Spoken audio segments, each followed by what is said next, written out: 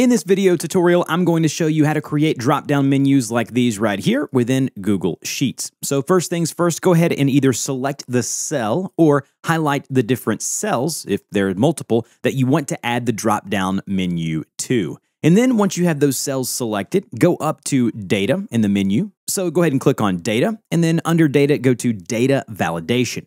Under data validation, you'll see the properties and rules on the side here. And the one that we want to do is right here where it says add rule. Click on add rule and you can see that the drop down menus have now appeared. Couple of things here. The range or cell selection is going to be where you want the drop down menus to be located. Next, under criteria, we want to select drop down right here. So again, don't do drop down from a range. We want to do drop down. And then once you do that, you can start adding your values. As you can see here, you can add many different values or options for your drop down menus. And if you want to, you can click and hold the drop down menus here and drag them to put them in the order that you want. Or if you wanted to, you could delete one of them by clicking the remove value trash can here. And then if you ever want to go back and add them, you would just go to add another item, type in that value or option there, and you are good to go.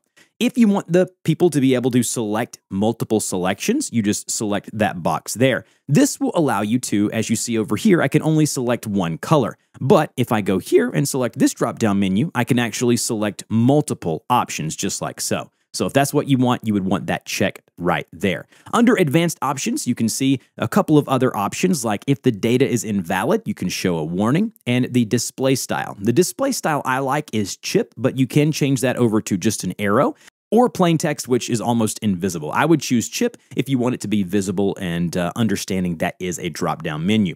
When you are ready, you click done and you're good to go. If you want to ever remove the rule, you just go over here and go to remove rule and you are good to go. And then lastly, if you ever want to go back and change any of these drop down menus, go back up to data and then go to data validation. Over here, it'll tell you all of the rules that are currently active. So this one here is active on C6.